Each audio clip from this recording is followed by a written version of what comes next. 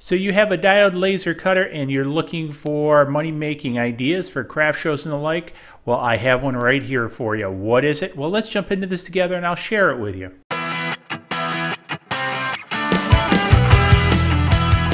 Welcome to this episode. In this episode, I want to share this card design I came up with to be cut on a diode laser. Uh, now, actually, you can cut it on any type of laser if you want. It's just out of construction paper, not that difficult to cut. Actually cuts pretty quick. I'll run a time lapse of it being cut in the corner.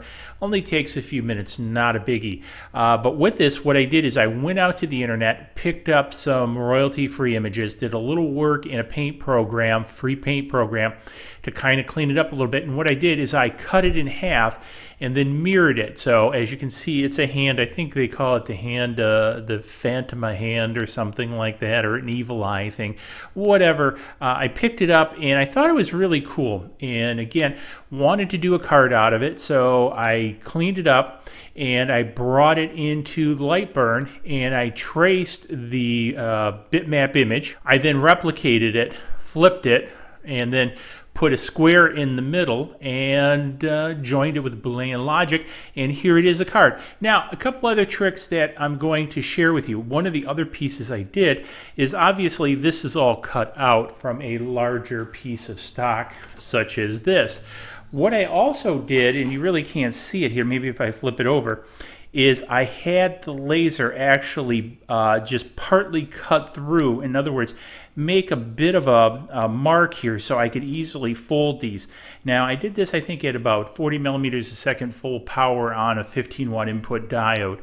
And I probably go a little bit more, but um, it got the idea across and actually it works pretty good. So in other words, they fold easier uh, because one of the things these are, because so much is cut out, a little bit flimsy, but this really came out really cool, guys. Now, one of the other pieces with the um, construction paper, you notice it's two colors. So one color on one side, one color on the other. So you get this really neat effect on the front here. Now, you guys want this file, I'll have this file out on the design store for free for you guys. You can go out there, download it, do whatever you want with it, have fun with it, sell it. Uh, it you know, it's a great, um, you know, again, piece to practice with, produce it for your family, craft shows. I'm going to be doing some other ones like this, and I'll have them out on the design store for free. This is an SVG file, so you can make it bigger, smaller, you know, what kind of shape you want, all that kind of stuff. I will also, in a different uh, file on the design store, have the actual hand itself as a complete unit because I'm also going to be doing the near future a video where I CNC that out of a block of wood because I think it's just a cool looking thing. You guys might remember I did this in 3D printing a long time ago, uh, brought it into OpenSCAD, uh, rendered it, and then 3D printed it, and it came out pretty cool, and that's out on Thingiverse. Uh, I probably also put that STLs out on the design store. So I'm putting, well, I'm putting some of my stuff still out on Thingiverse.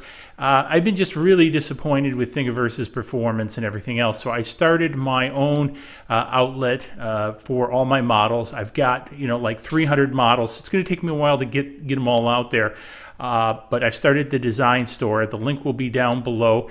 And uh, I'm going to put all my stuff out there. So if you're looking to get anything I do on this channel, look out there first because it'll likely be out there, especially any of the newer stuff. And I'm going to try to catch up on the older stuff. So with that, I hope you found this interesting.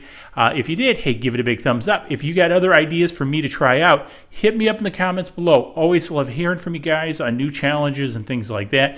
And I'll give it a shot. So with that, again, big thumbs up, subscribe, swag shop up there, and we'll catch you guys in the next video. Cheers. Please click like below and subscribe to the channel to keep up to date on all of our projects.